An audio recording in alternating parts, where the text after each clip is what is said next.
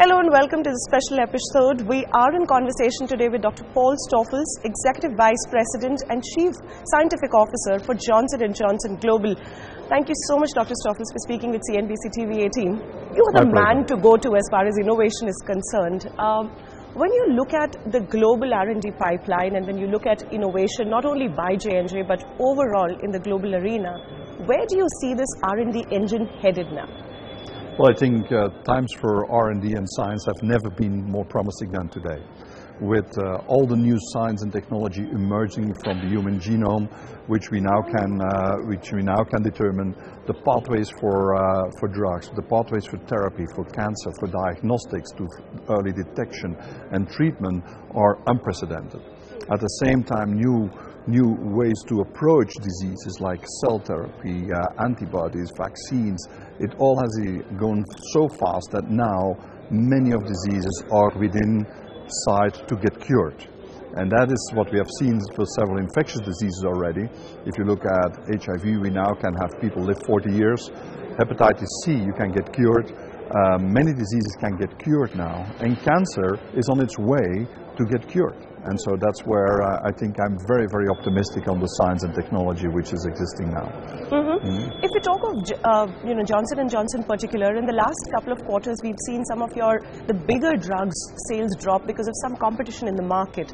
From the R&D pipeline to supplement the lost growth, what is it that you guys are betting on in terms of uh, the bigger products uh, on the pipeline which could uh, hit the markets anytime soon? Well, we have now more than 10 drugs which are blockbusters in the world out out of a new pipeline. And of course, if, if that moves on in the pipeline, the growth of those drugs are uh, start to slow down. But at the same time, we are introducing significant other drugs. We have a huge pipeline in cancer, including im- immuno-oncology drugs, including direct anti-cancer drugs. We have additional drugs in uh, with a big breakthrough also in inflammation. Um, we are working on uh, additional infectious disease drugs, and uh, we have new drugs in neuroscience. So we'll continue and we'll launch in the next uh, three, four years another 10 drugs to- into the market. So uh, I think the pipeline looks good. Mm-hmm. Um, as far as uh, particularly cancer and HIV is concerned, there were some hiccups on the immuno-oncology side. You know, some of the companies have seen some bit of hiccups, particularly on the CAR T therapies. Was it CAR T therapies? Uh, what is it lined up from the J&J side on that front? Well, we have um, 15 approaches to immuno-oncology. We came later to the immuno-oncology. We have focused significantly on direct anti-cancer drug with big success. Uh, if you look at Imbruvica, if you look at Darzalex, um, and uh, Zytiga, uh, three big drugs which make our business now, we started up immuno-oncology big time with 15 different approaches on very selective immunostimulation for oncology, and that will uh, deliver over the coming years a very strong addition to our pipeline. The combination of direct anti-cancer drugs with immuno-oncology drugs will ultimately be the way to treat cancer. In the meantime, we do collaborations with other companies on immuno-oncology and make combinations for the patients which bring the benefit of immuno-oncology together with our drugs. And hopefully we can uh, cure a lot of cancer and bring a lot of uh, uh, quality of life to patients. Mhm. When you talk of innovation, R&D and the entire pipeline, where does India stand in your entire bid to hit on the innovation pipeline? What is the work that you're doing currently in India? you in had, India you know, have- somewhere stopped your clinical trials a couple of years ago, but reinitiated that. Yeah, that's back. In India, we have uh, now, we- started up uh, significant clinical trials again. Uh, India always has had and now will have a significant contribution to our pipeline. We do pharmaceutical formulation here, we have clinical teams here, we have data teams, we have uh, big data teams, by the way, here who contribute almost in every every step of our development, there is contribution from India to, uh, to our products. In addition to that, we have a few particular drugs. When it comes to tuberculosis, a company made a new drug for uh, ex- ex- existent, exist, extreme resistant TB and MDR TB and bedaquiline, and we are working with the government to make it now available on a much larger scale to all the patients who need it in, uh, in India. Diabetes is a big problem in India and everywhere in the world. With Invokana being launched in this country, we can make a significant contribution. And also the medical teams in India are learning on how to implement these drugs and uh, work with the medical community, do studies and, uh, and have more impact. So India is very important and it will become even more important for us going forward. Mm-hmm. When we talk of, uh, you know, the work that you're doing in India from the R&D pipeline or the innovation side is concerned, would that work be restricted to doing data management and clinical trials or will India eventually, or is there a plan in place to involve India uh, on a larger platform as far as the R&D is concerned? Yeah, we are doing very specific R&D now in the field of TB with Indian uh, institutions and that will even further expand as we go forward and we'll commit to, uh, to do significantly more. I'm very impressed with, uh, with what I learned in the last week here in India, being with the government, being around with the scientists in the hospitals.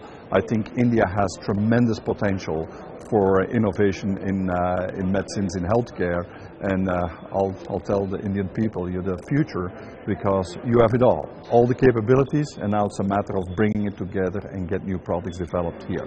So tuberculosis is one area where you're saying that India would be involved in a larger scale, which means proper research would be happening out of Indian? Uh... Yes, we are, we are working on, on that at the moment. Plans will be uh, made public later, but we are uh, going to do uh, significant research here in India on TB. Okay, uh, particularly from the tuberculosis, uh, you know, drug bedaquiline that you are working with the Indian government here, and you've rolled out in a very limited access program that you're working. How is that progressing? There had been some, uh, you know, debates and discussions around uh, the compassionate uh, patient program and the limited access with which the drug has been rolled out.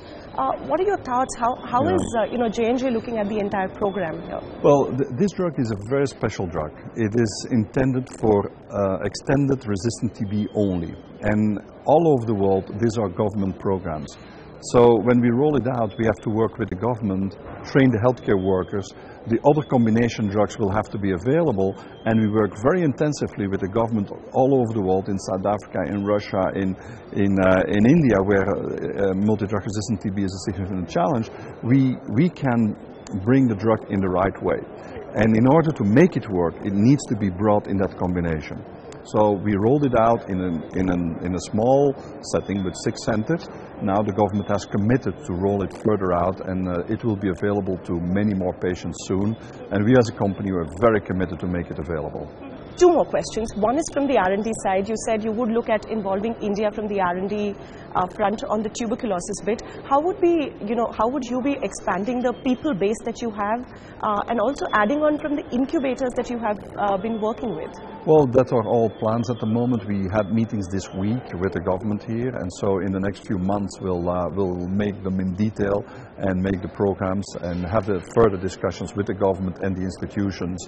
Uh, it will bring a lot of capabilities here, and uh, we'll see how much it result, will result in and in terms people. of uh, investments?